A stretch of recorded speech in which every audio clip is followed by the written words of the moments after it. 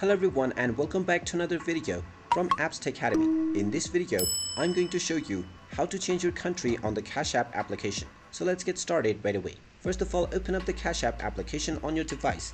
And if you haven't logged into your account already, you will be asked to log in using your phone number or your email address. If you have already logged in, you might need to enter your biometrics or your PIN code. After logging into your account, in order to change your country, tap on your profile icon at the top right corner and then underneath account and settings tap on personal.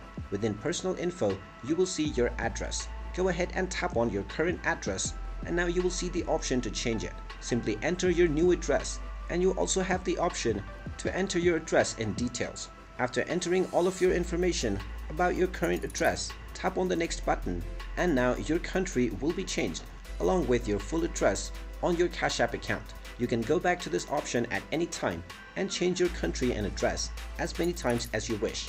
And there you have it. That is how easy it is to change your country on Cash App. If you find this video helpful, make sure you hit that like button and subscribe to our channel if you haven't done so already. Also ring that notification bell to never miss another update from us. Thank you for watching and I will see you again in the next video.